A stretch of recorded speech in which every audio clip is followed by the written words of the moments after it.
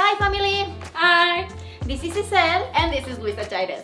And today we want to introduce you a very special top model. Woo! Yay!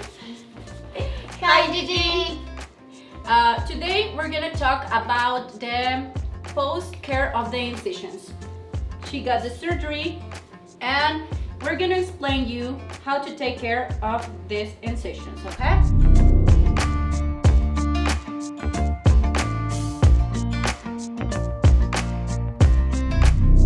Hi everyone, we, we are he still here with our model Gigi. Uh, she got a surgery yesterday and uh, today she already took a shower. First of all, she removes the bandages from the incision. She had four incisions. It's one, two, one here on the belly bottom and four, okay? Uh, she already cleaned it. She already showered and cleaned her incisions with water and soap on the fingers. Slowly and uh, gentle movements around and over the incision. It's important to mention here that you don't need to scratch it or you don't need to dig it on the incisions. Just a gentle movements over and around the incision and that's it. You don't need more than that. Um, as you can see, she have a very good color on the incisions and it's a very, very small incisions. So that's the way that it should look after the surgery, okay? It's important to mention that sometimes after the surgery, you can have some bruises around the incision and that is because of the movement of the instruments during the, the procedure, okay? It's normal. On her case, she doesn't have but it's different in every person. But in case that you have some bruises around your incision, don't be afraid, it's normal. Uh, but uh, that's the way that it should look, the incisions, okay? Um, another thing, it's the, sometimes you will see or you can feel a little bit of uh, ET, don't scratch it on, on incisions, okay? Um, sometimes when the scabs are appearing, you will feel that sensation like tingling, like a little bit itchy, itchy and just don't scratch it just with the just with a, a fabric, a clean fabric. You just can um, slide over and that's it. Okay, and you don't need to put anything else like um, something uh, like a cream or stuff like that.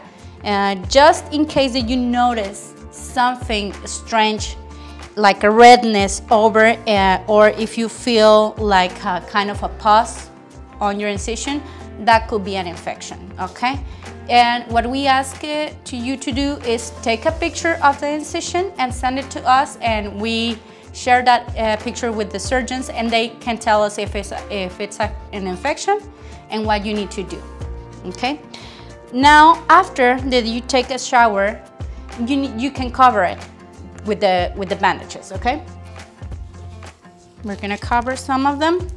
And we recommend to cover your incisions for the next three, four days, no more than, than, than five, because one of the secondary effect of the bandages is kind of a rash around your incision because of the stick in the glue of the bandages. It's not because the incision it was infected, it's because of the bandages. So if you feel that on the third day, one of your incisions do not need bandages, don't put it, it's fine, okay?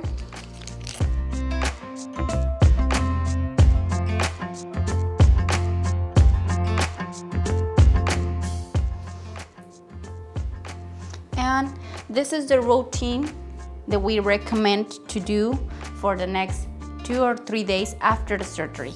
If you feel all of this, um, you will be fine and your incision is gonna heal very, very good. Another important thing to say and mention about the incision is that maybe you will see through outside a small incision, but remember that these ones are deep, okay? So it is important that even if they already closed through outside, they're gonna be healing for the next uh, week during through inside. Another important thing to let you know is that yes, you will have here in your incisions uh, some uh, sutures, but those ones are dissolvable. So you don't need to go to any other physician or doctor to remove it, okay? They're gonna dissolve by itself and it's safe for you, Okay, with this we end uh, all the post-surgical care of the incisions. If you have any doubt or questions, we always uh, are very happy to help you and answer all your doubts and questions. So Gigi, thank you so much for your help. Thank you for being our excellent model. Uh, this information will help a lot to the patients and we always like to provide the most information that we can so you can be comfortable and confident with your surgery. so, Thank you. welcome. Bye.